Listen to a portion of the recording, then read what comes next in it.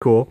Uh, I just wanted to show the compatibility with these mags. These are my primary mags that I'll, be using, except for this one. This came with the gun, so I'm just going to show you how it goes together. Um, nothing in here has been changed. You can see the, the hop up where that is. That's all the same. Um, nothing's changed there. And some of these mags have a hard time going in, so I'm going to just kind of set them in. This is the one that comes with it. Obviously, it engages really well. Very easy. Okay.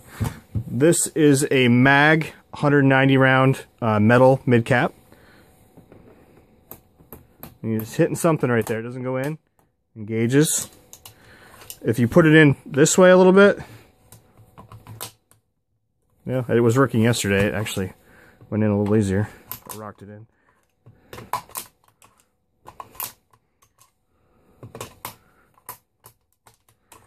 So I'm not sure exactly what's happening, if it's the, uh, if it's this, or if it's the hop up stopping something.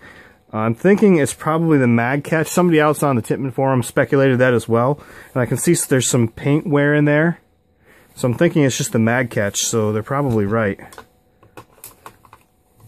Yeah, there we go.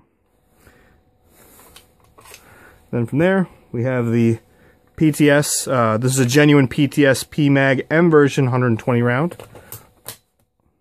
They're definitely going rough. Yeah.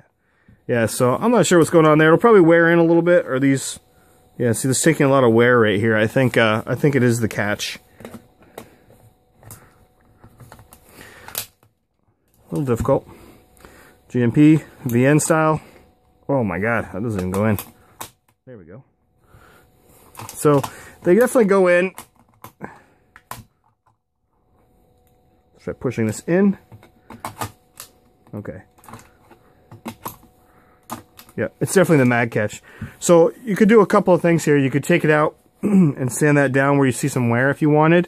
Uh, I'm just going to let it break in, uh, leave it alone. The ones that fit definitely the best other than the, the OEM one, which you can see how it's kind of, there's like an insert here and the distance is much shorter. So I'm thinking that may play a role in there. Yeah. I think these mags, they fit in pretty well. They do really good. So that's kind of cool.